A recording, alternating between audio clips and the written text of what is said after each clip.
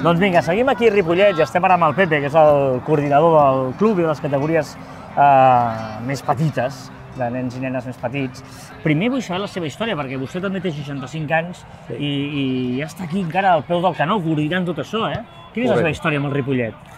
Bueno, la meva història amb el Ripollet comença en el 2010 més o menys, que bueno, arrel d'un amic meu que tenia aquí entrenant i el que era president del Cisco Inglada, em coneixia perquè a part havia sigut el meu entrenador, l'últim meu entrenador com a jugador de futbol, no? que és curiós això, no? I bueno, em van cridar per vindre aquí a entrenar un cadet i vaig tindre una etapa d'entrenar cadet i benjamí i vaig estar quatre anys. Després es va fer la unificació a Montcada de l'escola, amb el Montcada i tot això. Me vaig anar allà com a entrenador i ja doncs, em vaig treure el que és la titulació de coordinació i vaig estar coordinant tot el que era de Montcada també. Ah, perquè clar, tu ets de Montcada, però, eh, vaja, això és com casa teva, eh? Sí, perquè bueno, a part, amb el Cisco hem tingut sempre una afinitat, perquè el fet d'haver estat dos anys amb ell, com a entrenador i ja retirat en el món de futbol, no?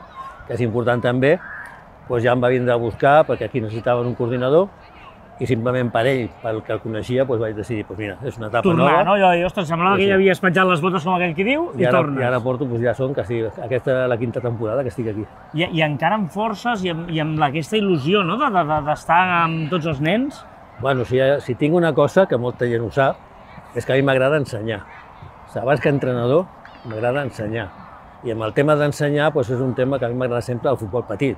Sí que tinc la meva titulació, puc entrenar aquí a Forans, però m'ha agradat molt sempre ensenyar des de petit, que, penso que és la base de, de lo que té que arribar a dalt, no? Nens i nenes, perquè vosaltres també heu fet un esforç molt important per apostar pel femení. I teniu Sí. tres equips femenins, dels quals crec que tu n'entrenes un d'ells, no? Sí, bueno, vam apostar l'any passat, va ser complicat perquè bueno, són nenes que no havien jugat pràcticament mai a futbol i a partir d'aquí bueno, vam començar l'etapa l'any passat i aquest any doncs, bueno, tenim un aleví femení, un cadet juvenil, estan les veteranes que també porten aquí ja, em sembla que són 3 o 4 anys, i bueno, el tema del femení, inclús ara hem fet una mica de tasca també de- d'involucrar nenes i estan venint, i bueno, penso que també és important. I amb la selecció espanyola, que ha donat molt, Clar. també ajuda una mica. Ajuda no? una miqueta a que Sí. hi hagi aquesta atracció, no? El que passa que en aquest moment de captació, de captació de nens i de nenes, clar, eh, que Ripollet estigui dividit en dos clubs i que hagi aquesta gairebé competència entre uns i altres, sap greu, no? Quan potser unint esforços podria ser... Ha, ha passat a molts puestos, sigui Cerdanyola, sigui Montcada, el fet, a Montcada encara perquè també hi ha dos equips, no?